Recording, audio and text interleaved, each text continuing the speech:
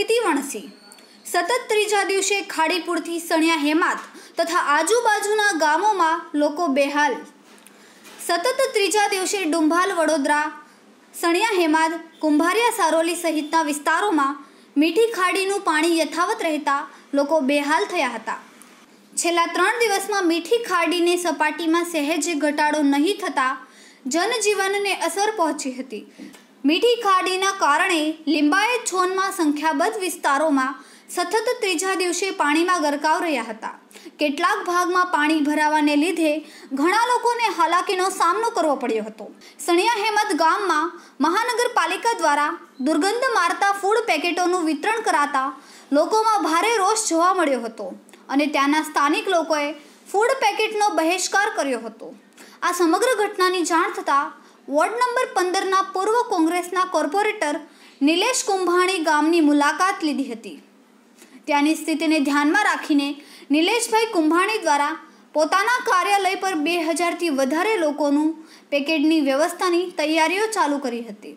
આવા કપરા કાળમાં જ્યાં મહાનગરપાલિકાએ જેમને મદદ કરવી જોઈએ એવા સમયમાં કોંગ્રેસના પૂર્વ કોર્પોરેટર નિલેશભાઈ કુંભાણી આ ગામના વહારે આવ્યા હતા અને લોકોની પીડા જાણીને એમણે પોતાનો જે હળતું ફળતું દવાખાનું તેની પણ ત્યાં વ્યવસ્થા કરવાની વાત કરી હતી. સણિયા ગામની પરિસ્થિતિને ધ્યાનમાં રાખીને નિલેશભાઈ કુંભાણી તથા કોંગ્રેસની ટીમ કાર્યરત થઈ ગઈ હતી. સુરતથી સુનિલ પાટીલ, સત્યનો અવાજ ગુજરાતી ન્યૂઝ. નમસ્કાર દર્શક મિત્રો આપ જે પરિસ્થિતિ જોઈ રહ્યા છો જે પૂરની સ્થિતિ છે આજે આપણે આવ્યા છે સણિયા અહેમદ ગામની મુલાકાત લીધી છે આ ગામની અંદર ઘણા બધા લોકો ઘણા બધા ઘણા બધા પરિવારો આજે અ, પૂરની વિસ્તારથી એ લોકો હેરાન છે પરેશાન છે પણ મહાનગરપાલિકા દ્વારા જે મદદ કરવામાં આવી આવી જોતી હતી એની જગ્યાએ જે ફૂડ પેકેટ મોકલવામાં છે એ પણ વાસી અને તદ્દન ખરાબ ફૂડ પેકેટ છે જેમાંથી ખૂબ બદબુ આવી રહેલી છે અને આ જે ગામના લોકો હતા તેમણે એનો બહિષ્કાર કર્યો છે આપ જોઈ શકો છો આ સમગ્ર જે વિસ્તાર છે એ પાણીથી ગરકાવ થઈ ગયેલો છે કમસે કમ આઠથી દસ ફૂટ પાણી આપણે ગામની અંદર ભરાઈ ચૂકેલો છે ઘણા લોકોને બહાર જઈને મંદિરમાં અથવા બહારના જગ્યાએ રહીને એ લોકોનું રોકાણ કરવામાં આવે છે અને આજે આપણે ગામના જે ભાઈઓ છે અ- અને જે અ, ફૂડ પેકેટની વ્યવસ્થા ખરાબ થવાથી જ્યાં પૂર્વ કોર્પોરેટર નિલેશભાઈ કુંભાણીને જાણ થતાં જ તે સ્થળની મુલાકાતે આવેલા છે અને કેવી વ્યવસ્થા એમણે કરી હતી આપણે એ વિશે જાણીશું જે નિલેશભાઈ અ, શું ઘટ અ, અ, કેવી વ્યવસ્થા કરવામાં આવી છે તમારા દ્વારા આ પૂર્વ કોર્પોર પૂર્વ સરપંચ એ સંજયભાઈ દ્વારા ફોન કરવામાં આવ્યો કે ભાઈ કોર્પોરેશન દ્વારા ફ્રૂટ પેકેટ દેવામાં આવ્યું છે એકદમ દુર્ગંધ મારે છે તમે અહીં આવો અને ક્યાંક વ્યવસ્થા કરાવડાવો એટલા માટે હું અહીંયા સરદાર ફાર્મ ઉપર અત્યારે ફ્રૂટ પેકેટ બનાવવાનું ગરમા ગરમ વ્યવસ્થા કરાવડાવી છે ત્યારબાદ અમે સ્થળ તપાસ કરવા આવ્યા કે અહીં શાસકો દ્વારા ખાલી રાઉન્ડ મારવામાં આવ્યો છે ફ્રૂટ પેકેટ દેવામાં આવ્યું એકદમ ગંદુ અને દુર્ગંધ મારે એવું દેવામાં આવ્યું અને અહીંયા આદિવાસી સમાજનો મજાક કરતા હોય એ ટાઈપનું ફ્રૂટ પેકેટનું પેકેટ ઘા કરીને વહી ગયા એકદમ દુર્ગંધ મારે છે કોઈ ખાય કે એવી પરિસ્થિતિ નથી અને આ કોર્પોરેશન દ્વારા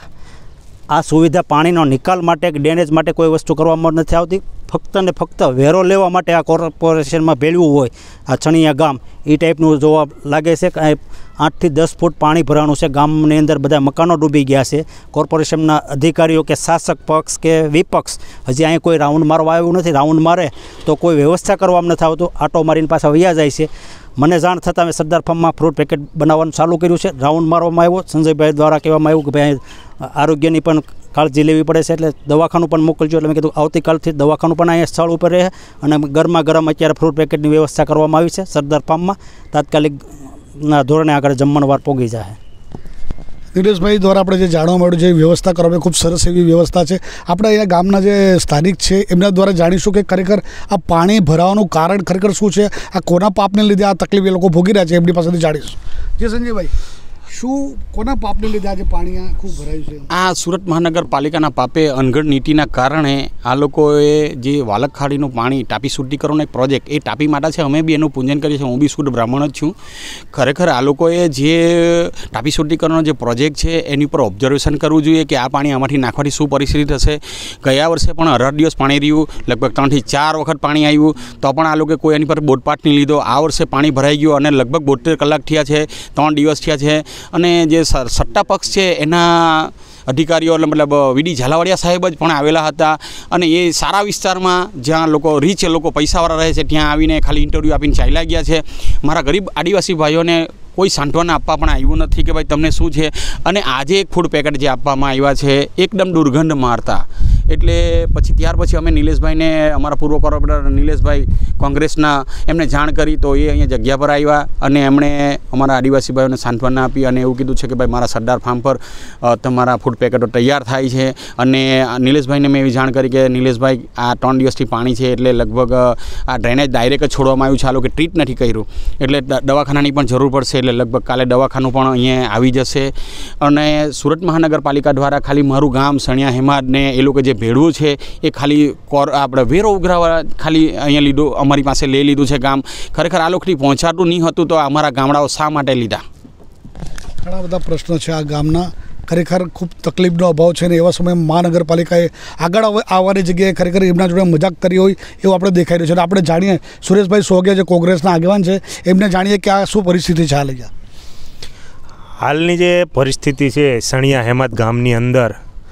આ સત્તામાં મદ છેલ્લા સત્તાવીસ વર્ષથી જે શાસનમાં બેઠેલી છે, ભારતીય જનતા પાર્ટીની જે સરકાર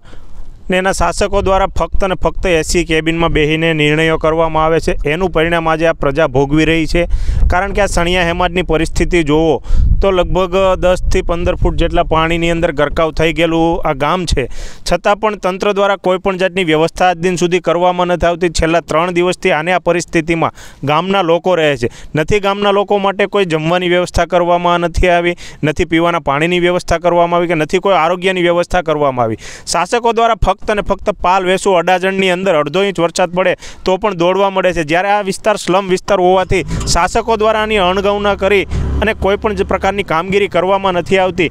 ત્યારે કોંગ્રેસ પક્ષ દ્વારા હંમેશની જેમ આ વખતે પણ પહેલ કરી અને આ જે સણિયા હેમત ગામ છે એ લોકોની જમવાની વ્યવસ્થા અમારા પૂર્વ કોર્પોરેટર નિલેશભાઈ કુંભાણી દ્વારા કરવામાં આવી રહી છે તેમજ અમે સ્થળ મુલાકાત કરી અને લોકોને શું જરૂરિયાત છે તેનો પણ તાગ મેળવી રહ્યા છીએ અને આની અમે ઉપલા લેવલ સુધી અમારા વિરોધ પક્ષના નેતા અને પ્રદેશ પ્રમુખ થકી આની પણ રજૂઆત કરી અને આવતા વર્ષથી આવી દુર્ઘટના ફરી પાછી ન બને અને આ ગામના રહેવાસીઓને આ પ્રમાણેનો ભોગ ન બનવું તે- પડે તે માટેની વ્યવસ્થા થાય તે માટેની પણ કામગીરી આગામી દિવસોમાં થાય એ માટેની રજૂઆત કરવામાં આવશે मेरा नाम नीलेश है मैं कांग्रेस पार्टी की ओर से यहाँ पे प्रभारी हूँ और हमें पता चला कि आज सनिया अहमद में बाढ़ का पानी पूरा घुस गया है तो हम लोग यहाँ पे पहुँचे हैं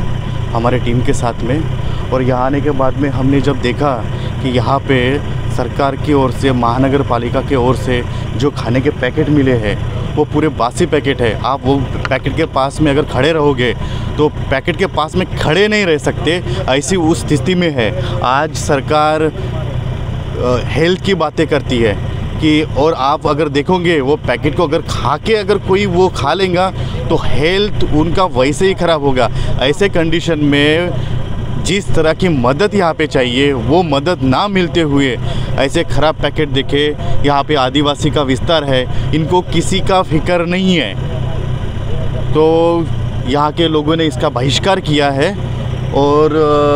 आने वाले समय में सही ढंग से यहाँ पे कुछ परिस्थिति सुधर सके, इसलिए हम लोग यहाँ पे आए हैं और हमारे यहाँ से जो हमारे नीलेश भाई है, उनके यहाँ से अभी जो खाना, बासी खाना है और अच्छा फ्रेश खाना हम लोग यहाँ लेके आ रहे हैं।